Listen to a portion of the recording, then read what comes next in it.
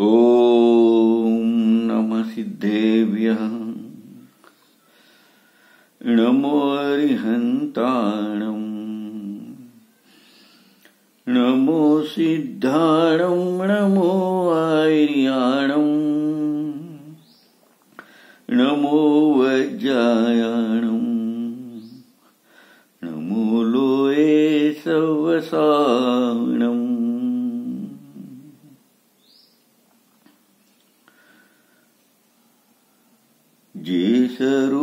સમજ્યા વિના પામ્યો દુઃખ અનંત સમજાવ્યું તે પદ નમો શ્રી સદગુરુ ભગવન વર્તમાન આ કાળમાં મોક્ષ માર્ગ બહુલો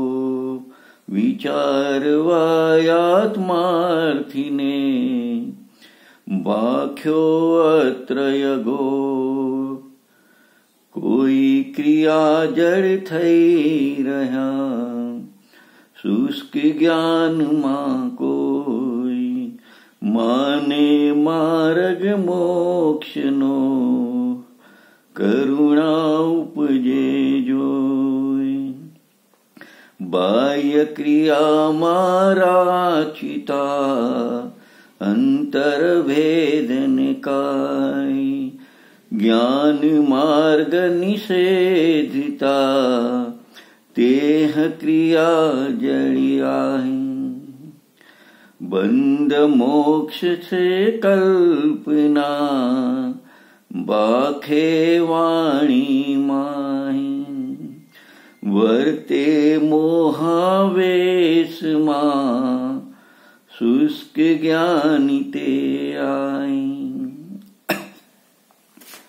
આત્મસિદ્ધિ શાસ્ત્ર બિરાજમાન છે. આપણે ગયા સ્વાધ્યાયમાં જોયું કે પહેલી ગાથામાં એમ કહ્યું કે હું આત્માના ભાન વગર અનંતકાળથી રખડ્યો અને અનંત દુઃખને ભોગવ્યા. તો જે મારું સ્વરૂપ છે, જે સ્વરૂપ સમજ્યા વિના પામ્યો દુઃખ અનંત, એ જે સ્વરૂપને સમજ્યા વિના મેં અનંતકાળમાં અનંત દુઃખ ભોગવ્યા, એ આત્મપદ જે મારું છે, એને સમજાવનાર જે શ્રી સદગુરુદેવ છે, એમને વિનય કર્યો, એમને નમસ્કાર કર્યા. એ વ્યવહાર છે, નિશ્ચયથી તો એ પદ ગુરુએ સમજાવ્યું એ પદ મને મારા જ્ઞાનમાં અનુભવમાં આવતા હું એને નમસ્કાર કરું છું. બીજી ગાથામાં કીધું કે વર્તમાન આ કાળમાં મોક્ષ માર્ગ બહુ લોપ એટલે વર્તમાનમાં મોક્ષ માર્ગનો બહુ લોપ છે. એટલે કે લોકો એને જેને મોક્ષ માર્ગ માની રહ્યા છે, તો ખરેખર એ મોક્ષ માર્ગ નથી. મોક્ષ માર્ગ તો એનાથી કોઈ જુદો છે, એ કોઈ અપૂર્વ છે. પૂર્વે આ જીવે સાચા મોક્ષ માર્ગનું જ્ઞાન સદાન કર્યું નથી. ભલે વર્તમાનમાં મોક્ષ નથી, પરંતુ સાચો મોક્ષ માર્ગ તો છે. પણ એનો લોપ છે એમ કેમ કીધું કે જે સાચો મોક્ષ માર્ગ અત્યારે છે, એને સમજી મોક્ષ સ્વરૂપ આત્માની સાચી શ્રદ્ધા કરનારા લોકો ઘણા ઓછા છે. માટે એમ કીધું કે મોક્ષ માર્ગ બહુ લોભ.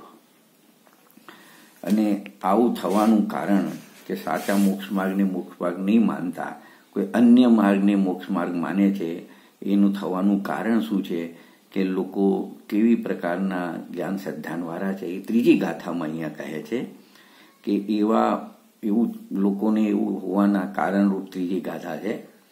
કોઈ ક્રિયા જડ થઈ રહ્યા, શુષ્ક જ્ઞાનમાં કોઈ માને માર્ગ મોક્ષનો કરુણા ઉપજે જોઈ બીજી ગાથામાં કહ્યું હતું કે મોક્ષનો માર્ગ બહુ લોપ થઈ ગયો છે.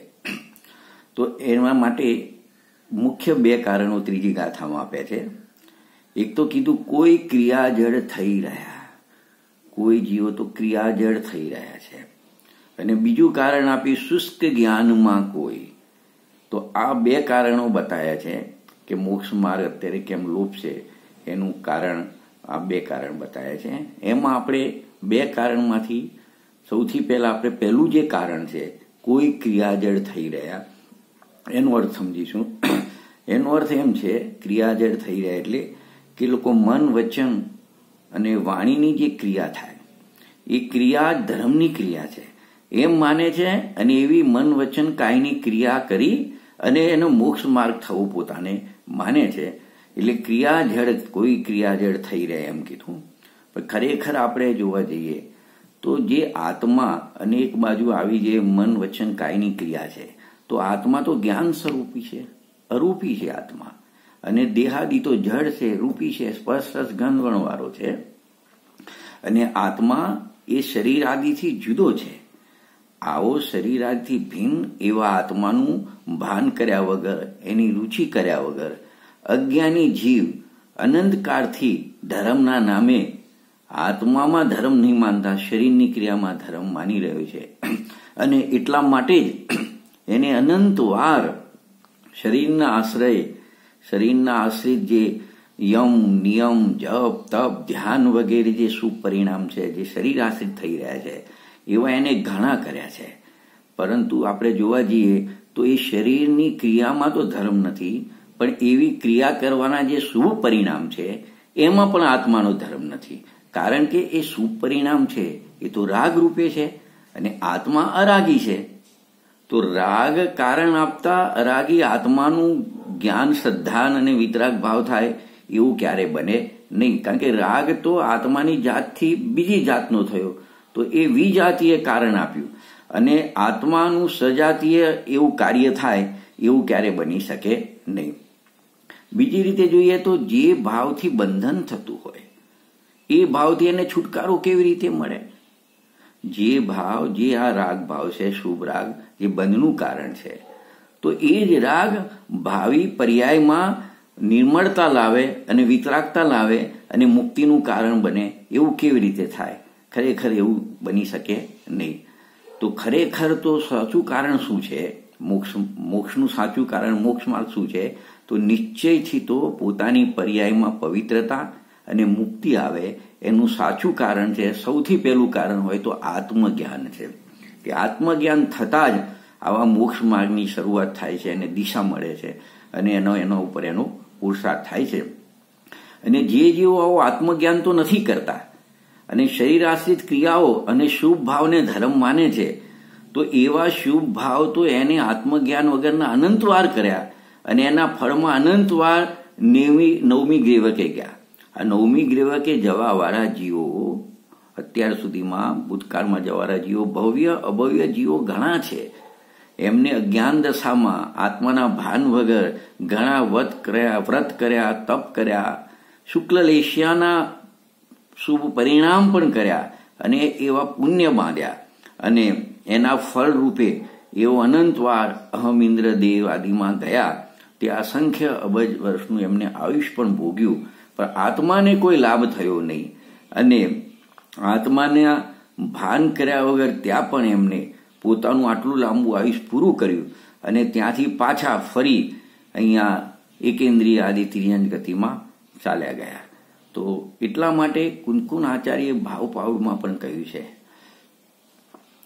ત્રણ લોકમાં પરમાણુ સરખું સ્થાન કોઈ રહ્યું નથી. જ્યાં દ્રવ્ય શ્રમણ થયેલ જીવ મર્યો નથી, જન્મ્યો નથી. મતલબ શું કહેવા માંગે છે? કે ભાવ પહોળમાં કુનકુન આચાર્ય કે ત્રણ લોકમાં જેટલા પણ સ્થાન છે, એની અંદર એક પરમાણુ માત્ર પણ સ્થાન એવું કોઈ બાકી નથી કે તેમાં આ જીવે એ સ્થાન ઉપર દ્રવ્ય શ્રમણ ધારણ કરી, એટલે દ્રવ્યલિંગી મુનિ પણ ધારણ કરી જન્મ મરણ કર્યા ન હોય.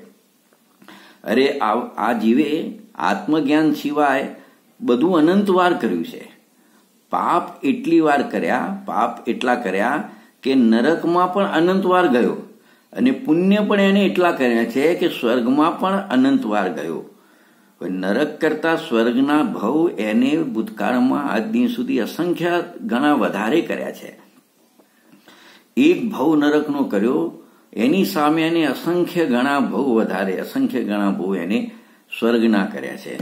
એમ કરતા કરતા એને અનંત ભવ તો નરકના કર્યા, એની સામે અનંત ગુણા અસંખ્ય ભવ એને સ્વર્ગના કર્યા. તો એ સ્વર્ગમાં જવા લાયક શુભ ભાવ શુક્લ લેશિયાના પરિણામપણે એના ક્રિયાકાંડ શરીર આશ્રિતપણે એને એટલા જ કર્યા છે. એટલે પંડિત દોલતરામજીએ છડાડામાં ચોથી ઢાળમાં કીધું છે, મુનિવ્રત ધાર અનંત બાર, ગ્રેવક ઉપજાયો, પે નિજ આત્મ જ્ઞાન બિના સુખલેશ ન પાયો. અને આવા શુક્લલેશિયાના પરિણામ, કે જે અત્યારે પંચમકાળમાં તો હોતા પણ નથી, એવા શુક્લલેશિયાના પરિણામ આ જીવ અનંતવાર કરી અને અનંતવાર નવમી ગ્રેવકે આ જીવ જઈ આવ્યો છે અને ત્યાંથી નીચે પટક્યો છે. અને એવા પણ ભાવ કર્યા કે એને સાક્ષાત તીર્થંકર કેવડીના સમોસરણમાં જવા મળ્યું. એવા પણ એને ભાવ કર્યા છે કે તીર્થંકરના સમોસરણમાં પણ ગયો. એટલા માટે કીધું છે કે કેવડી આગળ રહી ગયો કોરો. તો બધા જ ભાવ એને કર્યા છે. એટલા માટે એવું પણ આવે છે કે દ્રવ્ય સંયમ સે ઘેવક પાયો ફીર પીછે પટક્યો. એટલે એને આવા શુક્લ પરિણામ શુક્લ લેશાના પરિણામ કરી અને દ્રવ્ય સંયમ ધારણ કરી અને ગ્રેવેક સુધી ગયો, પણ પાછો પટકાયો અને નીચે પાછો ચાર ગતિના ચક્કરમાં, પરિભ્રમણમાં ફરવા માટે આવ્યો. એટલે પહેલી ઢાળમાં પણ પ્રચલિત કડી આપણે બોલીએ છીએ કે ચહેતે ચય થાવર તન ધરે, યો પરિવર્તન પૂરે કરે, કે સ્વર્ગમાં ગયો અને ત્યાંથી પાછો ચહેતે ચય, ત્યાંથી સ્વર્ગ છોડી અને સ્થાવર તન ધરે. એટલે સ્થાવર એટલે એકેન્દ્રીય પર્યાયને ધારણ કરી અને ચાર ગતિના પરિભ્રમણ પૂરા કરે. એકેન્દ્રીયમાંથી નીકળ્યો તો મનુષ્ય તિર્યા નારકી દેવ ગતિમાં ગયો અને પાછો જ્યાંથી નીકળ્યો તેવી એકેન્દ્રીય પર્યાયમાં આવી ગયો. માટે જ્ઞાની પુરુષો તો એમ કે છે કે આ શુભ અશુભ ભાવ, બંને ભાવથી રહિત જે શુદ્ધ ભાવ છે જે આત્માના જ્ઞાન શ્રદ્ધાનપૂર્વકના શુદ્ધ ભાવ એટલે આત્મ સ્થિરતાના ભાવ છે, એ જ સંબંધ નિજરારૂપ મોક્ષનો માર્ગ છે. આ જે ત્રીજી ગાથા છે, એ ત્રીજી ગાથીમાં બે પડખાની ચર્ચા કરેલી છે. એક તો પહેલા ક્રિયાજળની ચર્ચા કરી છે પહેલા પડખામાં, અને બીજા પડખામાં શુષ્ક જ્ઞાની કોને કહેવાય એની ચર્ચા કરેલી છે. એમાં હજુ આપણે ક્રિયાજળની વાત કરી રહ્યા છીએ. કે ક્રિયાજળ કોને કહેવાય? અથવા ક્રિયાજળી લોકો કોને કહેવાય? કે જેને હજુ આત્માનું જ્ઞાન શ્રદ્ધાન કર્યું નથી, આત્માનો અનુભવ કર્યો નથી, અને બસ અંધશ્રદ્ધાથી જ દેહની ક્રિયાને ચારિત્ર ધર્મ માનીને બેઠા છે. એવા જીવોને શ્રીમદજીએ, કૃપાળુ શ્રીમદજીએ ક્રિયાજળ જીવો કહેલા છે. કે શરીરની જડની ક્રિયામાં ધર્મ માનીને બેઠા છે. કારણ કે મન વાણી અને દેહાદી પરમાણુ માત્ર જે જડની ક્રિયા છે, એને અરૂપી આત્મા ચૈતન્ય આત્મા ક્યારે કરી શકે નહીં. આત્મા કરે તો શું કરે? તો આત્મા તો ત્રણેય કાળ માત્ર ને માત્ર જ્ઞાન કરે, જ્ઞાન સિવાય બીજું કંઈ કરી શકે નહીં. એટલે કહ્યું પણ છે કે આત્મા જ્ઞાનમ સ્વયં જ્ઞાનમ જ્ઞાનાદન્ય કરોતી કિમ. આત્મા સ્વયં જ્ઞાન સ્વરૂપ છે અને તે જ્ઞાન સિવાય બીજું કંઈ કરી શકે નહીં. બૃહદ દ્રવ્ય સંગ્રહની આઠમી ગાથા છે, આઠમી ગાથા. એની ટીકામાં તો સ્પષ્ટ લખ્યું છે કે જે આ હાથ હલે છે ને, હાથ હલે છે. તો હાથ હલાવાની ક્રિયા પણ આત્મા કરી શકે નહીં આપણી વાત તો જવા દો. જે વિતરાગ સર્વજ્ઞ થયા છે, ભગવાન જે થયા છે, એમને અનંત જ્ઞાન, અનંત દર્શન, અનંત સુખ ને અનંત વીર્ય પ્રગટ થયું છે. તો અનંત વીર્યવાન હોવા છતાં પણ એક પરમાણુ માત્રમાં કે હાથ હલાવવાની ક્રિયા એ કરી શકતા નથી. આ રીતે આપણે જોઈએ, આ ન્યાયથી પણ આપણે જોઈએ, તો જ્ઞાની કે અજ્ઞાની કોઈ પણ જીવ, કોઈ પણ પ્રકારના જડની, કોઈ પણ પ્રકારની ક્રિયા કરી શકતો નથી ખરેખર. તો એ આત્મજ્ઞાનથી જે અજાણ, અજ્ઞાની લોકો છે, એ એવું કે છે કે અમે જડની ક્રિયા કરીએ. જડની ક્રિયા જે નથી કરી શકતા, એ તો અમે કરીએ છીએ. અને ખરેખર જે આત્મામાં જ્ઞાન દર્શન, ગુણ, જ્ઞાન દર્શન, ચારિત્ર વગેરે જે ગુણ છે તો એની ક્રિયા કરી શકે છે તો એને કરવાની ના પાડે છે કે અમે ના કરીએ.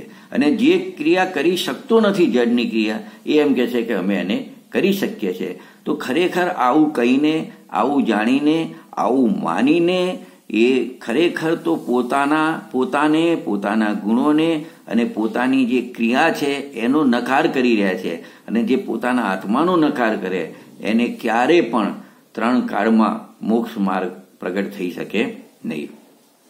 આવું થવાનું કારણ એ છે કે લોકોને બહારથી પરનું જ મહત્તમ આવે છે, શરીરનું જ મહત્તમ આવે છે. એટલે જડની જે ક્રિયા થાય, એને ખરેખર કરી શકતું નથી, પણ એ અભિમાનથી કહે છે કે ના, હું પરનું કરી શકું, શરીરની ક્રિયા કરી શકું છું. અને ઉપરથી એમ કે કંઈક કરીએ તો કંઈક પામીએ ને, કર્યા વગર થોડું થાય. અને એના ટીકામાં રેફરન્સ પણ આપે છે. જ્ઞાન ક્રિયાભ્યામ મોક્ષ એ વાક્યનો આધાર આપી અને એ એમ કે છે કે બસ અમે તો જ્ઞાને કરીએ છીએ અને આ જળની ક્રિયા પણ અમે કરીએ છીએ. એમ કહીને અમે બંને સાથે કરીએ છીએ. પણ ખરેખર ચૈતન્યની ક્રિયા શું છે? જળની ક્રિયા શું છે? એની એવા લોકોને કોઈ ખબર નથી. અને છતાં પણ જળની ક્રિયા કરવાનો એ શું કરે છે? આગ્રહ રાખતા હોય છે. આમ એમને ખરેખર તો આવું થાય છે, તો એમને અનંત બહુમાં રખડવાનું કારણ ઊભું થાય છે. કારણ કે એનું મૂળ કારણ જે મિથ્યાત્વ છે, તો આવી માન્યતામાં એમને મિથ્યાત્વનું મોટું પાપ થાય છે. અને જે જળની ક્રિયામાં મોક્ષ માર્ગ માને છે, એમને કૃપાળુ શ્રીમદજી જળ ક્રિયા એમને કહી રહ્યા છે. હવે બીજી ચર્ચા કરીશું આપણે કે બીજો વર્ગ છે શુષ્ક જ્ઞાનીનો. શુષ્ક જ્ઞાની કોને જો જ્ઞાની શબ્દ છે એટલે કોઈ આત્માનું જ્ઞાન છે કે મોક્ષ માર્ગી છે, જ્ઞાની પુરુષ છે એમ નહીં શુષ્ક જ્ઞાની લખ્યું છે શુષ્ક જ્ઞાની. તો એમની ખરેખર જ્ઞાનમાં જ્ઞાનની સાથે શ્રદ્ધામાં પણ વિપરીતતા હોય છે. તો એ વિપરીતતા કેવી રીતે હોય છે? એની આપણે ચર્ચા કરીશું કે જે લોકો પાસે સાચું જ્ઞાન નથી, ભેદ જ્ઞાન નથી, આત્માનું જ્ઞાન નથી, એ લોકોનું જ્ઞાન છે, એમાં વિપરીતતા છે તેમની શ્રદ્ધા પણ વિપરીત છે. તો એવા જીવોની માન્યતા, જાણપણું કેવા પ્રકારનું હોય છે, એની આપણે ચર્ચા કરીશું. એવા જીવોને શુષ્ક જ્ઞાની કહેવામાં. શાસ્ત્રોમાંથી બધું વાંચે તો જેવું લખ્યું છે એવું બોલે પણ જેવું લખ્યું છે એવું જ, છતાં પણ અંદર અંદર સમજણ કંઈ અલગ હોય અને એમની ક્રિયા પણ અલગ હોય અને એમની માન્યતા પણ અલગ હોય છે. તો જો આવા શુષ્ક જ્ઞાની જીવો કોને કીધા કે જે જીવો સ્વસંતાપૂર્વક સ્વસંતાપૂર્વક, કોઈ પણ પ્રકારના વિવેક વિના શાસ્ત્ર વાંચીને શાસ્ત્રના શબ્દો માત્ર ધારી રાખે છે. અને એમ કહે છે કે શાસ્ત્રમાં લખ્યું છે એમ કે આત્મા સિદ્ધ જેવું છે. આત્મા અકર્તા છે. આત્મા અભોગતા છે. પણ જે આત્મા સિદ્ધ સમાન સદાપદ મેરો, આત્મા અકર્તા છે, અભોગતા છે, એવા જે કથનો જે શાસ્ત્રમાં આવે છે, તો એ કથનનો ભાવ શું છે? એનો તો વિચાર કરતા નથી. અને ખાલી એ બધા કથનો મોઢે રાખી યાદ કરી, બીજાને સંભળાઈ અને પંડિતાઈની મોટી મોટી વાતો કરી અને હું જ્ઞાની છું એમ પોતાને માને, એવા જીવો ખરેખર શુષ્ક જ્ઞાની છે. એ શાસ્ત્રના કથનના અર્થને સમજતા નથી, એના ભાવને નથી સમજતા, એવા જીવોને અહીં શુષ્ક જ્ઞાની કૃપાળુ શ્રીમદજીએ કીધા છે. બીજી રીતે વિચાર કરીએ, શાસ્ત્ર સિવાય અલગ બીજી રીતે, તો અંતરંગમાં ઉપશમતા નથી. ક્રોધ માન અપમાન રાગ દેશ હજુ એમને ઘટ્યા નથી, ઓછા થયા નથી. અને બોલે છે આત્મા, વિતરાગી છે. અને એની સામે જે વિરોધી છે ઓપોઝિટ સાઈડમાં ક્રોધ માન રાગ, દેશ માન અપમાન, એ બધું તો એમને ઘટ્યું નથી, ઓછું થયું નથી. એટલે આમનું આ કહેવું યોગ્ય નથી. અને બીજું, આવા જીવો વિષય ભોગમાં લોલુપતાપૂર્વક, તૃષ્ણતાપૂર્વક વર્તે. એમની નિશાની છે કે એમને બોલે છે, આત્મા વિતરાગ સ્વરૂપ છે. અને જો એમને વિષય ભોગમાં લોલુપતા દેખાતી હોય, એમની તૃષ્ણા જો ઘટી ના હોય, એમની કશાયો ઘટી ના હોય, તો સમજવું કે એમને ખરેખર એવા જીવોને ચૈતન્ય પ્રભુ પોતાનો જે ભગવાન આત્મા છે, એની જાગૃતિ કરવાનો, એને સમજવાનો, એનો એનો એનો, એને પ્રેમ જ નથી, એનો આત્માનો એમને આદર નથી, તો આવા જીવો પણ શુષ્ક જ્ઞાની છે. એમને શુષ્ક જ્ઞાની કીધા છે. આવા જીવોને જીવનમાં જો અનેક પ્રકારના પ્રસંગો જ્ઞાની હોય કે અજ્ઞાની હોય. બંનેના જીવનમાં ઉદય પ્રમાણે પ્રસંગો, ઘટનાઓ તો બનતી હોય છે. જે આવા શુષ્ક જ્ઞાની જીવો હોય છે, એમનું જરા પણ અપમાન થાય, એમની કોઈ નિંદા કરે કે એમને બાહ્યમાં કોઈ સહયોગોની પ્રતિકૂળતા આવી જાય, તો એ સંભાવ રાખી શકતા નથી. કેમ કે એમને આત્માની સ્વરૂપની એમને ખબર જ નથી, એમને આત્માને જાણ્યું જ નથી. અને માત્ર ને માત્ર આત્મા શુદ્ધ બુદ્ધ ચૈતન્ય ઘન છે રાગદેશ રહિત છે, માન અપમાનના સ્થાનો આત્મામાં નથી. એવી માત્ર ને માત્ર સુસ્ત જ્ઞાનની વાતો કર્યા છે. એટલે એમને ઘણા શાસ્ત્રો મળે, ઘણા શાસ્ત્રો વાંચે, ભણે, પણ એનાથી એમના આત્માને કોઈ લાભ થતો નથી. એનાથી આત્માને શું લાભ થયો? કોઈ લાભ થતો નથી. કેમ કે આત્મા એક નયે, એક અપેક્ષાએ શુદ્ધ છે. એના બદલે શુદ્ધ શુદ્ધ છે, એના બદલે એકાંત નિશ્ચય પકડીને તેઓ કહે છે કે આત્મા શુદ્ધ છે, એમાં કોઈ રાગદેહ છે નહીં. કેમ કે શાસ્ત્રમાં લખ્યું છે કે આત્મા કેવું છે? શુદ્ધ ચૈતન્ય ગન છે. તો આવા જીવો ખરેખર તો જ્ઞાનીના વચનને અને પોતાના અકસાઈ આત્માને અન્યાય કરી રહ્યા છે. તેમની, એને એની કંઈ ખબર નથી પડતી કે આ અન્યાય હું મારો, મારી મારી ઉપર જ અન્યાય કરી રહ્યો છે. અને એમાં જે મિથ્યાત્વ છે એનું પાપ થાય છે, એના ફળ પણ મારે જ ભોગાવવા પડે બીજી એમની એક નિશાની એવી છે કે જ્યારે પણ એમના કોઈ બહારમાં કંઈ પ્રસંગો આવે, તો ઉદય ઉદય કર્યા કરે. એમ કે કે પ્રારંભમાં હશે, એમ થશે. એમ માનીને આત્માનું શું થાય છે? કે ભલે બહારમાં કર્મના ઉદયો જે હોય, પ્રારંભ જે હોય, પણ તું આત્મા તરફ તારો પુરુષાર્થ ચાલે છે કે નહીં? તારી રુચિ આત્મા તરફ વધે છે કે નહીં? તારો પ્રયત્ન છે કે નહીં આત્માને સમજવાનો, જાણવાનો, શ્રદ્ધા કરવાનો, તત્વ વિચાર કરવાનો? તો એ એ એ તરફ એમનું ધ્યાન જતું નથી. અને આવા જીવો રાગ, દેશ, ક્રોધ, માન માયાલોભ કશાયો અને અશુભ પરિણામમાં ટકી રહ્યા હોય છે અને છતાં પણ એમને આત્માનો તો કોઈ પુરુષાર્થ નથી અને એકલી કશાયને અશુભ ભાવોમાં રહે છે અને એમ માને છે કે અમારું શું થઈ જશે? મોક્ષ થઈ જશે, કે આપણને શાસ્ત્રનું જ્ઞાન થઈ ગયું છે, આત્માનું સ્વરૂપ કેવું છે, ખબર પડી ગઈ છે, એનાથી એ અમારો મોક્ષ માર્ગ છે, અને અમને એનાથી શું થઈ જશે, અમારો મોક્ષ થઈ જશે. જરા પણ એવા જીવોનું અપમાન થાય, તો એમનું કાળજું કંપી ઉઠે છે. એ વખતે એવા જીવોને ખ્યાલ નથી આવતો કે ભાઈ, આપણે વિચારીએ તો એમ થાય કે આવા જીવો બોલતા તો એમ હતા કે આત્મા સિદ્ધ સમાન છે રાગ દેશ વિનાનો છે જો આવા જીવો પોતાને સિદ્ધ, સમાન અને રાગદેશ વગરના માનતા હોય, તો પછી આવા માન અપમાનના જ્યારે પ્રસંગો બને, તો એનું એમનામાં રિએક્શન કેમ આવે છે? એ પ્રતિકૂળતા થાય, કોઈ દ્વેષ કરે, કોઈને અણગમો કરે એમના પ્રત્યે, કોઈ તો અથવા કોઈ એમને સગવડ મળે, તો સગવડ મળતા રાગ થાય છે અને પ્રતિકૂળતા થતાં એમને દ્વેષ થાય છે. તથા કોઈ ખુશામત કરે, વખાણ કરે એવા જીવનાથી રાજી થઈ જાય છે. અને કોઈ એમની નિંદા કરે, તો એ દ્વેષી થઈ જાય છે. પરંતુ સિદ્ધ સમાન આત્મા તો એ ભાવોથી તથા મન, વાણી અને દેહથી જુદો છે, તો પછી એ ભાવોમાં એવો શુદ્ધાત્મા કેવી રીતે આવે? કે આત્મામાં કોઈ નિંદા કે પ્રશંસાનો ભાવ પણ આવતો નથી, કે આત્માને કોઈ બહારની સગવડતા, સગવડતાનો પણ પ્રવેશ થતો નથી. આત્મા તો સદાય શુદ્ધ જ રહે છે, પણ એ એ એવું સમજી શકતા નથી. આના ઉપરથી નક્કી થાય કે આવી માન્યતાવાળા જીવો શુષ્ક જ્ઞાની છે અને તેઓ ભવ સાગરમાં ડૂબવાવાળા છે. એની સામે જો જ્ઞાનીનો વિચાર કરીએ, જે શુષ્ક જ્ઞાની નથી, આત્મજ્ઞાની છે, તો એવા આત્મજ્ઞાની જીવોના જીવનમાં પણ બહારમાં આવા માન અપમાનના પ્રસંગો, સગવડતા, અગવડતાના પ્રસંગો બનતા હોય છે. પરંતુ જ્ઞાનીઓને તો અંતરમાં આત્મજ્ઞાન અને વૈરાગ્ય હોય છે. એમના પરિણામોમાં નિર્મળતા હોય છે. તેથી એમને નિરંતર ક્ષમતા ભાવ બન્યો રહે છે. વળી જ્ઞાનીને ભોગ પ્રત્યે પણ અનાસક્તિ હોય છે. એમનામાં એકદમ નમ્રતા હોય છે. એમનામાં વિવેક હોય છે. અને અજ્ઞાની મોહી જીવો તો અનાચાર સેવે છે.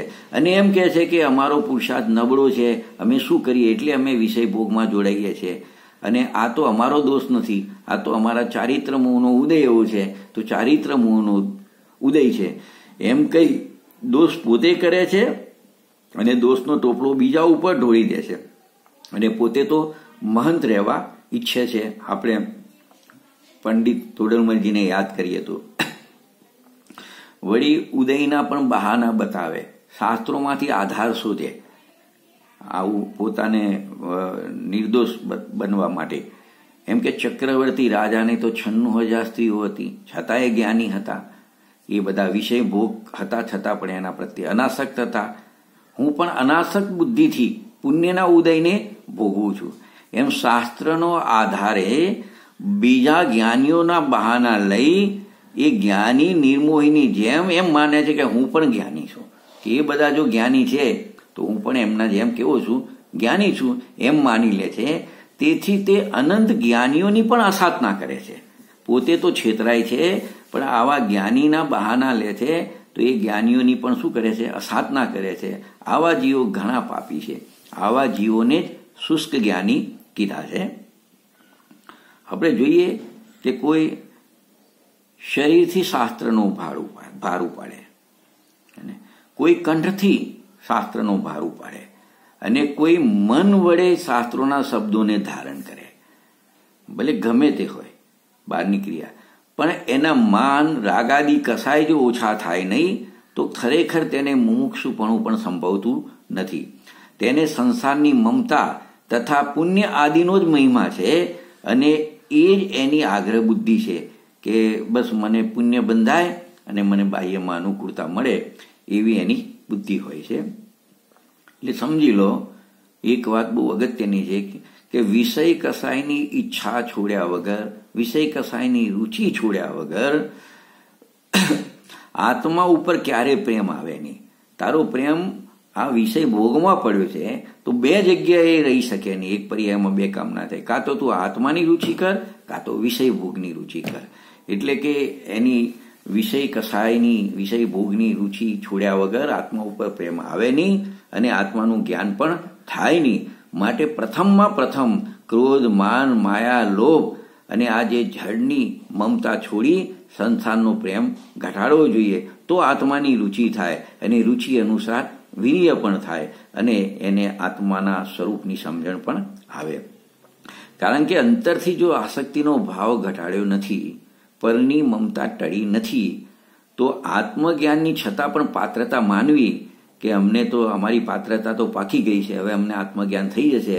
તો એ બધી પથ્થરના નાવ જેવું છે. જેમ પથ્થર, લાકડાની નાવ પાણીમાં મૂકો તો તરે, પણ પથ્થરની નાવ પાણીમાં મૂકો તે ડૂબી જાય છે. તો આવું માનવાના જીવો પણ સંસારરૂપી સમુદ્રમાં ડૂબે છે પથ્થરની નાવની જેમ. એટલે જ્ઞાની તો કહે છે કે જગતના જીવો આત્માની સંભાળ કરતા નથી અને રાગ, દેશ અને પોતાની ઈચ્છાની સંભાળ કરે છે, મૂર્છા, મોહ કરે છે. વળી તેઓ આત્માની રુચિ નામે કંઈક કરે પણ છે, તો જે કરવાનું છે નથી કરતા અને બીજું જ કરી રહ્યા છે. તો આવા જીવો અનંત સંસારમાં રગડે છે.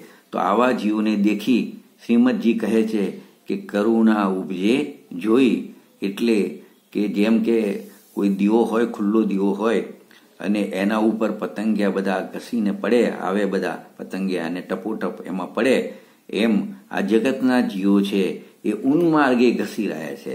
એ તરફ એમનો એમનો પ્રવાહ બધો એક ઉન્માર્ગ તરફ એમનો છે. અને આવા જીવોને જોઈ અને જ્ઞાનીઓને, કૃપાળુ શ્રીમદજીને દયા આવે છે, તેથી એમને આ પદમાં એવું લખ્યું કે, માને માર્ગ મોક્ષનો કરુણા ઉપજે જોઈ કોઈ ક્રિયાજળ થઈ રહ્યા સુસ્ત જ્ઞાનમાં કોઈ માને માર્ગ મોક્ષનો કરુણા ઉપજે જોઈ આવા જીવોને જોઈને એમને કરુણા આવે છે. હવે ચાર નંબરની ગાથા છે. એનો આપણે પાઠ કરીશું. બાહ્ય ક્રિયામાં ચિતા અંતર ભેદન કાય. જ્ઞાન માર્ગ નિષેધતા તેહ ક્રિયા જડિયાય પહેલું પદ છે બાહ્ય ક્રિયામાં રાચતા એટલે શું બાહ્ય ક્રિયામાં રાચતા રાચતા રચવું રચવું રચા પચા રહેવું જબ જગ વિષયો મેં है ना जब जग विषयों में रचक कर गाफिल निद्रा में सोता है તો બાહ્ય ક્રિયામાં રાચતા તો જો અહીંયા તો ક્રિયામાં રાચતા ક્રિયા તો છે, પણ જે અંતરંગ આત્માના આશ્રયની જે જ્ઞાન ક્રિયા છે, એ જ્ઞાન ક્રિયા નહીં, પણ બાહ્ય રાગાદિની ક્રિયા, શરીરાદિની ક્રિયા છે, એ બાહ્ય ક્રિયામાં રાચતા કેમ રાચે છે? અંતરભેદ નકાય. અંતરમાં કે શરીર અને આત્માનો જેમને ભેદ નથી, રાગ અને આત્મા ભિન્ન છે એવો જેમને ભેદ નથી. એ ખરેખર જ્ઞાન માર્ગનું શું કરી રહ્યા છે? નિષેધ કરી રહ્યા છે. અને એ ક્રિયાજળ, એમને ક્રિયાજળ કૃપાળુ શ્રીમદજીએ કીધા છે. તો જો જે જીવો માત્ર બાહ્ય ક્રિયામાં જ રાખી રહ્યા છે, એટલે કે લુગડા બદલ્યા, પોતાનો વેશ બગડ્યો, વાળા પ્રમાણે, મતલબ વાળામાં ધર્મ માન્યો, આદિ બાહ્ય રૂઢિથી થતી જે બહિરંગ ક્રિયાઓ જે છે અને મનના જે વિકલ્પો છે, એ બધામાં ઠીક અઠીકપણું માની રહેશે કે બસ આ આવી ક્રિયા થાય તો ઠીક, અને આવી ક્રિયા ન થાય શરીર આશ્રિત તો અઠીક. બીજા પણ કોઈ જીવો હોય, એ એમની જેવી માન્યતા કે શરીર આશ્રિત ક્રિયામાં ધર્મ છે, તો એવી કોઈ ક્રિયા કરતા હોય બીજા જીવો પણ, તો ઠીક છે. અને કોઈ એવી ક્રિયા ન કરે, તો અઠીક છે. એને ધર્મ થવાનું નથી, એવું માને છે. આમ બાહ્ય ક્રિયા જે ઉદય અનુસાર થતી હોય, એની ઉપર જ એમનો રાગ અને એવી ક્રિયા ઉપર જ એમની મમતા હોય છે. એટલે એવા જીવો દેહાદીની ક્રિયાને આત્માની ક્રિયા માની રહે છે. અને એમ માને છે કે આવી ક્રિયા કરવાથી મને ધર્મ થશે અને મને સુખની પ્રાપ્તિ થશે, પુણ્ય કરીશું તો એનાથી સુખ થશે અથવા મારો પરંપરા એ તો મોક્ષ થશે થશે ને થશે. એટલે જે ક્રિયા દેહની ખરેખર તો થઈ રહી છે, જે થઈ જાય છે, અને ઉપરથી એમ માને છે કે આ ક્રિયા હું કરું છું, અને આ ક્રિયાથી જ મને ધર્મ થાય છે, અને ધર્મ થતાં મને સાચા સુખની પણ પ્રાપ્તિ થશે. જો એમની કેવી કેવી ક્રિયાઓમાં માન્યતા છે કે બાહ્ય શરીર આશ્રિત વ્રત તપ કરે, અને માને કે હું વ્રત તપ કરું છું, પણ એ ખરેખર સાચા વ્રત તપ નથી, બાહ્ય વ્રત તપ એ સાચા વ્રત તપ નથી નિશ્ચય વ્રત તપ નથી. રોટલા ન ખાવાય એને ઉપવાસ માને, સ્ત્રીનો સંગ ન કરવો એને બ્રહ્મચર્ય માને, સ્થૂળ રાગ ન કરવું એને ધર્મ માને, અને જીવ ન મરે તો એમને દયા પાડી એવું માને. આમ અનેક પ્રકારે માત્ર ને માત્ર બાહ્ય ક્રિયામાં જ આવા જીવો રાચી રહ્યા છે. તેવા જીવોને આત્મજ્ઞાન નથી, એટલે આવી ક્રિયામાં ધર્મ માનીને રાચી રહ્યા છે. અને આ બધા જે જીવો છે, આવી ક્રિયા કરવા બધા એમને કૃપાળુ શ્રીમદજીએ ક્રિયા ઝડક્યા છે.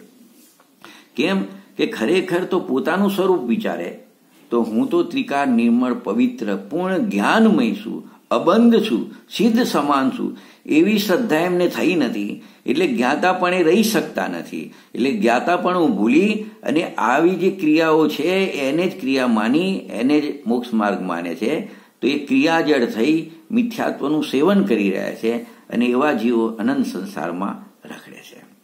તો બીજો પદ છે ને અંતર ભેદ ન કાય. બાહ્ય ક્રિયામાં રાજતા એનો અર્થ કર્યો. હવે અંતર ભેદ ન કાય.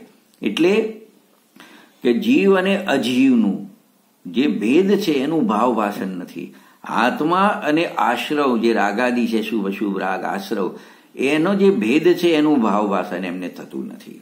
એનું કારણ એ છે કે અત્યારના લોકો છે, એમને સ્વતંત્રપણે સાત તત્વ છે, એ સાત તત્વનો વિચાર કરવા જેટલી એમને ધીરજ નથી. એમને બસ સીધું કંઈક કરીએ અને આપણને મોક્ષમાં થઈ જાય ને આપણો મોક્ષ થઈ જશે. પણ ખરેખર તત્વ વિચાર કરવાનું, ધીરજથી તત્વ વિચાર કરે, તત્વનું સ્વરૂપ સમજે, તો એમને સાચું સમજાય વગર રહે નહીં. એટલે તત્વ વિચાર કરતા નથી, એટલે આ દેહની અંદર રહેલો અરૂપી ચૈતન્ય આત્મા છે, એની તો જ્ઞાન ક્રિયા છે. તો આત્મા અને આત્માની જ્ઞાન ક્રિયા એની સાથે સાથે એક ક્ષેત્રે રહેલા આઠ કર્મો પણ છે, શરીર આદિ નો કર્મ પણ છે, દેહ, મન, વાણી પણ છે, અને દેહાદિની ક્રિયા જે થઈ રહી છે એ પણ એના જ્ઞાનમાં જણાય છે. પણ મોહી જીવો એને એ શરીરની ક્રિયાને પોતાની ક્રિયા માને, એને જ પોતાનો સ્વભાવ માને, અને એક ભ્રમ ઊભો કરે છે એ સૌથી મોટી એ ભૂલ કરે છે. એટલે સીધી રીતે જોઈએ તો આમ સ્વભાવ જે પોતાનો સ્વભાવ છે, તો એની સામે પરભાવ. સ્વભાવ અને પરભાવનો અંતર જ્ઞાનમાં કોઈ એમને ભેદ વર્તતો નથી. અને આ એમની જે સૌથી મોટી ભૂલ છે, એ ભૂલના કારણે જ એ અજ્ઞાન ભાવને અને અનંત સંસારને ઊભો રાખે છે. બીજી રીતે જોઈએ તો બાહ્ય ચારિત્ર અથવા જે આ વચન જે ક્રિયા થાય છે, વચનની ક્રિયા થાય છે, અને દેહાદિની ક્રિયા. એ બધી ઘણી હોય. એ લોકોની માન્યતામાં જે બાહ્ય ચારિત્ર પાડે, દેહાદની ક્રિયા વધારે કરે, એવી વાણી વધારે આપે, તો એ જ્ઞાની. અને એવી ક્રિયા થોડી કરે અથવા ના કરે તો અજ્ઞાની.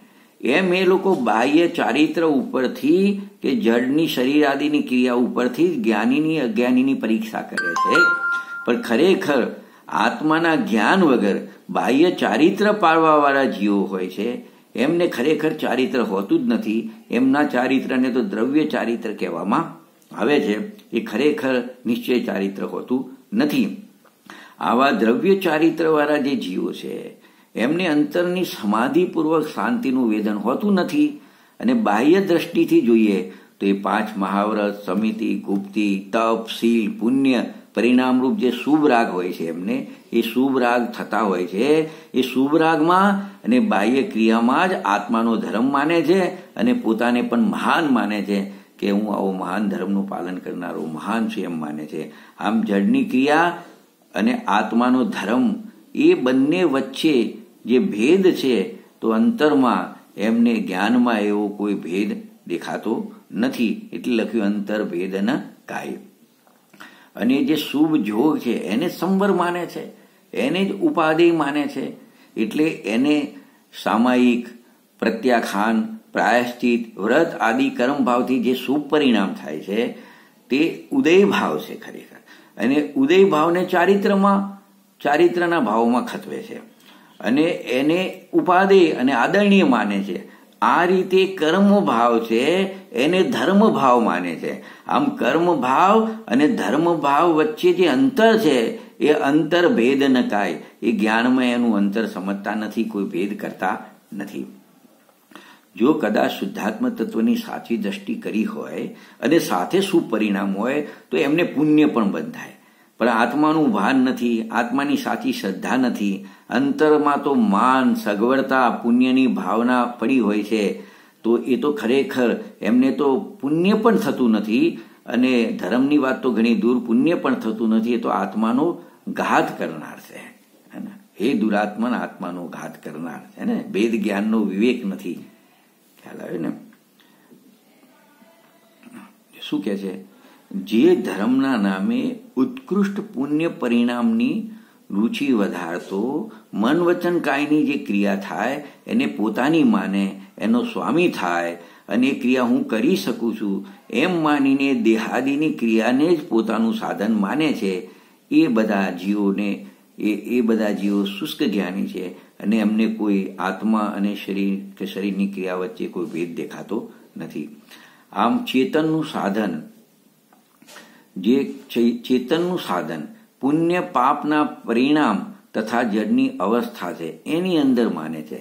કે કંઈ સાધન કરવું છે, ધર્મનું સાધન કરવું છે, તે પુણ્યના પરિણામમાં કે જડની ક્રિયામાં એને માને છે. એ જ એમનું સૌથી મોટું અજ્ઞાનને મિથ્યાત્વ છે. આવા જીવો મિથ્યાત્વ કર્મના અનંત પાપને બાંધે છે.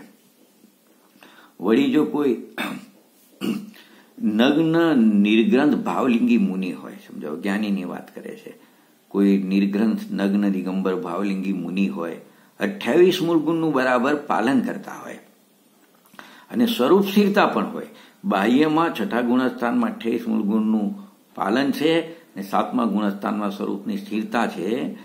એટલે છઠ્ઠા, સાતમા ગુણસ્થાને આવી રીતે વર્તતા હોય. પણ બાહ્યમાં ઉદયની ક્રિયાનો જો ગણો ઓછો દેખાય, ન દેખાય ઘણો ના દેખાય, તથા એક બીજા મુનિરાજ એવા લો કે એ પણ ભાવલિંગી મુનિરા છે, સાચા મુનિરાજ છે. એમને બાહ્ય ક્રિયાના સુવિયોગનો ઉદય વધારે દેખાય. છતાં પણ જ્ઞાની તો એમ માને છે, એ જાણે છે કે વધારે બાહ્ય ક્રિયાના સુવિયોગના કારણે કોઈ મને વધારે ધર્મ નથી. કેમ કે એ તો બધા કર્મની ઉદયની ક્રિયા છે અને ઉદયની ક્રિયાને ધર્મ માનતા નથી. જે ધર્માત્મા જ્ઞાની છે, એમને આવી ઉદયની કર્મ, ઉદયની ક્રિયાને ધર્મ માનતા નથી. અને આવા ઉદયનું એમને ઉદય કર્મનું સ્વામિત્વ પણ હોતું નથી. તેથી એમને બાહ્ય ઉદયની ક્રિયામાં રાચવા પણ નથી. એવી ક્રિયા તો એમને પણ જોવામાં આવે છે. પણ એમાં રાચતા નથી. કેમ કે એને કર્મની ક્રિયા માને છે, આત્માની ક્રિયા માનતા નથી અને એના સ્વામી પણ બનતા નથી. આ રીતે જ્ઞાનમાં વિતરાગી ક્રિયા કરી એમને વિતરાગી ક્રિયા કહી છે અને બાહ્ય જડની ક્રિયા કરી છે, એવો અંતરમાં ભેદ વર્તી રહ્યો છે. એટલે એમને એ, એવું સંસારનું કારણ બનતું નથી. વળી બાહ્ય અસ્થિરતાનો યોગ બની જાય જ્ઞાનીને પણ, તો તેઓ એના જ્ઞાતા રહે છે. એટલે કે એના સાક્ષી માત્ર રહે છે. એમાં જોડાતા નથી. તેથી જે ઉદય કર્મ છે, એની શું થઈ જાય છે? નિજરા થઈ જાય છે. છતાં પણ જો, એટલે જ્ઞાનીને જ્યાં સુધી વિશેષપણે જ્ઞાનમાં લીનતારૂપ ચારિત્રની સ્થિરતા ના આવે, ત્યાં સુધી એમને શુભ પરિણામ આવ્યા વગર રહેતા નથી. છતાં પણ જ્ઞાની તો ઉત્કૃષ્ટપણે હર સમયે પોતાનો પુરુષાર્થ વધારે છે. અને શુભ વિકલ્પ થઈ જાય અને શુભ વિકલ્પના સંબંધે મનમાં રાગભાવ થાય અને એમને એવું સહજે ઉત્કૃષ્ટ પુણ્ય એમને બંધાઈ થતું હોય છે. પણ એ પુણ્ય પરિણામનો કે પુણ્યનું ભવિષ્યમાં જે ફળ આવવાવાળું છે, એનો જ્ઞાનીને જરા પણ આદર હોતો નથી. એવો જાણે છે કે જે મારા સ્વભાવની જાત નથી, એનાથી મને ક્યારે ધર્મ થવાનો નથી. એવો એમને ભેદ જ્ઞાન વર્તે છે. અને આવું એમને ભેદ જ્ઞાનનો આવો મહિમા છે કે એમને પણ ઉદય કર્મ એવું કોઈ આવી જાય, પણ એનાથી એ જુદાને જુદા રહે છે. આવો ભેદ જ્ઞાનનો મહિમા છે. તેથી સંવર અધિકારમાં. એકસો એકત્રીસ નંબરના કલશમાં અમૃતચંદ્ર આચાર્ય દેવે પણ કહ્યું છે કે વેદ જ્ઞાનત સિદ્ધા સિદ્ધા એ કિલકેચન. અશ્યવમ ભાવ તો બધા બધા એ કિલકેચન. એનો અર્થ એવો કર્યો છે કે જે કોઈ સિદ્ધ થયા છે તે ભેદ વિજ્ઞાનથી સિદ્ધ થયા છે.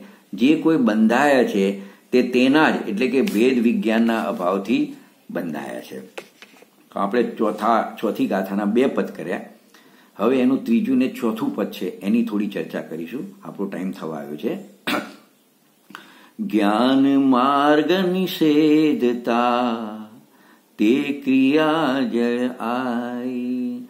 આવા જે જીવો છે કે જેને અંતરમાં આવું ભેદ જ્ઞાન નથી, એવા જીવો જ્ઞાન માર્ગ જે ખરેખર નિશ્ચય મોક્ષ માર્ગ છે, એની નિંદા કરે. અને એવું કહે છે કે તમે આત્મા આત્મા શું કરો છો? આત્મા આત્મા કરવાથી કંઈ મોક્ષ ના થાય. કોઈ ક્રિયા કરવાથી મોક્ષ થાય.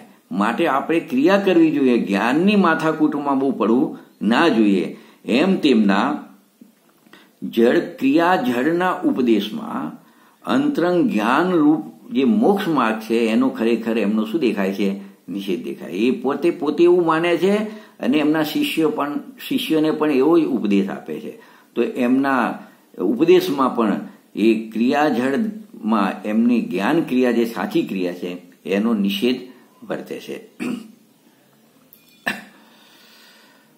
બાહ્ય ક્રિયામાં જેને રાછું થાય છે, એ જીવો મોહી જીવો છે.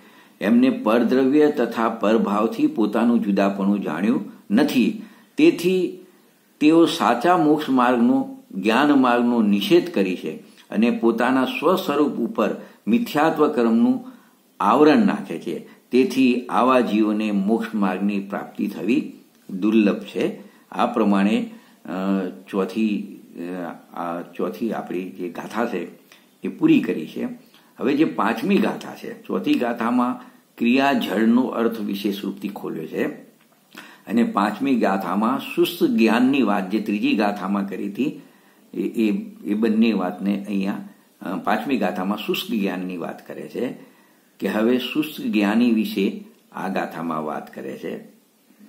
બંધ મોક્ષ છે કલ્પના બાખે વાણી માઈ વર્તે મોહાવેશમાં શુષ્ક જ્ઞાની તે આઈ. જે શુષ્ક જ્ઞાનીઓ છે ને, એમની કેવી વાતો હોય છે, એમની કેવી માન્યતા હોય છે કે રાગ દેશ કસાય ભાવમાં ટકી અને માત્ર વાણીમાં બોલે છે. પોતે તો રાગ દેશને કસાય ભાવમાં વર્તે છે. અને વાણી તો એવી કરે છે, કથન તો એવા કરે છે કે આત્મા શુદ્ધ બુદ્ધ છે. આત્માને બંધે નથી, આત્માને મોક્ષે નથી. એવા જે શાસ્ત્રોમાં નિશ્ચયનીના કથનો છે એને મુખ્ય કરી પોતે જ્ઞાની જેવી માત્ર વાતો કરે છે. અને રાચા તો શુભ રાગમાં જ રાચી રહે છે. દેહાદીની ક્રિયામાં જ રાચીને એમાં ધર્મ માની રહે છે. પરંતુ ખાલી આવી વાતો માત્ર કરવાથી હે વાતો માત્ર કરે પણ અંતરમાં સ્વાનુભવ કરે નહીં. આત્માનો અનુભવ ન કરે. આત્માની સાચી પ્રતીતિ ના કરે. અને બસ ટેપ રેકોર્ડર ચાલુ કરે અને જેમ બોલે એમ એવી રીતે નિશ્ચયના કથનોની વાતો કરે છે અને અંતરંગમાં તો રાગ, દેશ, મમતા અને સંસારની એકલી વાસના ભરી છે અને વાતો જ્ઞાનની કરે છે, માત્ર કોરા જ્ઞાનની કરે, એવા જીવો શુષ્ક જ્ઞાની છે. તેમને સાચા તત્વનું ભાન હોતું નથી અને એ જીવોને જ મિથ્યા દ્રષ્ટિ કહેવામાં આવે છે. આવા મિથ્યા દ્રષ્ટિ અજ્ઞાની સ્વસંતી જીવને મોક્ષ માર્ગની પાત્રતાનો અંશ પણ હોતો નથી. જે કંઈ ઉદયમાં આવે, તેમાં નિમિત્ત આધીન થઈને રાગી દેશી થયા કરે છે. અને શાસ્ત્રના બહાને જાણપહાનાપણાના બહાના બનાવે. અને જ્ઞાનીપણાની વાતો કરે. પણ અંતરંગમાં તો મોહ કસાય બિલકુલ ઘટ્યો નથી. તેથી એ શુષ્ક જ્ઞાની છે. આવા શુષ્ક જ્ઞાની જીવોને બહારમાં કંઈ પણ અનુકૂળતા આવતા એ રાગી થાય છે. અને પ્રતિકૂળતા આવતા એ દ્વેષી થઈ જાય છે. અને પોતે તો મોહના આવેશમાં અટક્યા છે અને એમ માને છે કે હું જ્ઞાતા દ્રષ્ટા છું, સાક્ષી માત્ર છું. એવા જીવો સ્વયં અપરાધી છે, પોતે જ અપરાધ કરે છે. મોહના આવેગમાં આવી રાગદેશ કર્યા કરે છે અને પોતાને માને છે, હું તો જ્ઞાતા દ્રષ્ટા છું, એનો સાક્ષી માત્ર છું. આત્મા ક્યાં રાગ કરે છે, આત્મા ક્યાં શરીરની ક્રિયા કરે છે? તો એમને શાસ્ત્રનું જે જ્ઞાન છે, આવું આત્મા ખરેખર કરતા છે અભોગતા છે. એ એવા જ્ઞાનને શુષ્ક જ્ઞાન કહેવામાં આવે છે. એવા જીવોનો સંસારમાં મોહ વર્તે છે અને કહે છે કે અમે તો માત્ર જાણનારા છીએ, જે બધું થાય છે એના જાણનારા છીએ. આત્મામાં તો કઈ રાગ દે છે નહીં. એમ કરી એવી શ્વસનતાને પૂછી પોતાના આત્માને એવા જીવો ઠગી રહ્યા છે. આવા કોઈ જીવે પૂર્વ ભાવે શુભ ભાવ કર્યા હોય અને જ્ઞાનાવરની કર્મનો મંદ બંધ કર્યો હોય, મંદ રસ થયો હોય, તેથી વર્તમાનમાં એમને જ્ઞાનનો ઉગાડ વધારે દેખાય, જોવા મળે. તેઓ ધર્મ સંબંધી ઘણા શાસ્ત્રો વાંચે, મનમાં ધારણામાં ધારી રાખે મનથી. અને આમ આત્માના નામે અગિયાર અંગ નવ પૂર્વ સુધીનું પણ જ્ઞાન કરી દે. પણ તેથી શું? એમને આત્મજ્ઞાનની કે આત્મધર્મની ગંધ પણ હોતી નથી. એમનું જેટલું પણ જ્ઞાન છે, એ બધું અજ્ઞાન છે. એ બધું ઉદયભાવમાં જાય છે. તેથી એને અજ્ઞાન જ કીધું છે. કેમ કે મૂળ આત્મજ્ઞાન નથી. આત્મજ્ઞાન અહીં જ્ઞાન હે સભી અજ્ઞાન કીધેલું છે ને? કે આત્માનું જ્ઞાન નથી. તો આટલું આટલું શાસ્ત્ર પાઠી પણ મૂર્ખ છે. યોગસારમાં પણ કીધું છે કે આત્મજ્ઞાન વગર ગમે તેટલા શાસ્ત્રના પાઠ કરે, તો પણ એ બધું તો ઉદય ભાવમાં જાય છે. એમનું અજ્ઞાન જ છે. તો પછી એક પ્રશ્ન થાય. તો પછી આત્માનું કાર્ય શું? આત્માનો પુરુષાર્થ કયો? એ બધું સમજવું પડશે ને? તો એવો પ્રશ્ન થવો જોઈએ. તેનો ઉત્તર પણ છે કે જે કોઈ મુમુક્ષુ સાચી સમજણ કરે, સાત તત્વનું સ્વરૂપ બરાબર જાણે અને સાચી સમજણ કરે અને એ ન્યાયે વિધિપૂર્વક શાસ્ત્રનું વિનય વિવેકથી ગુરુને સન્મુખ રાખી એમની આજ્ઞામાં રહી અને અભ્યાસ કરે અને આવી રીતે તત્વનો જિજ્ઞાસુ બની શાસ્ત્રનો જે અભ્યાસ કરે, એને પ્રથમથી જ એનું કરેલું કશું ફુગડ જતું નથી. એની દિશા સાચી દિશા એને મળી જાય છે મોક્ષમાં પ્રગટ કરવાની. એટલે પ્રથમથી જ એને લાભ થાય છે. અને જેને નિરંતર સંસારથી અજ્ઞાનથી છૂટવાનો ભાવ રહે, એ સાચો મુમુક્ષુ છે. પહેલામાં પહેલી શરત તો આ છે કે મારે સંસાર નથી જોઈતું. મારે અજ્ઞાનનો અભાવ કરવો છે. તો એ સાચો મુમુક્ષુ છે અને આવા મુમુક્ષુ જીવ છે, એને તત્વની સાચી જિજ્ઞાસા પણ હોય છે. તેથી તેને સંસારનો થોડો પણ આદર રહેતો નથી.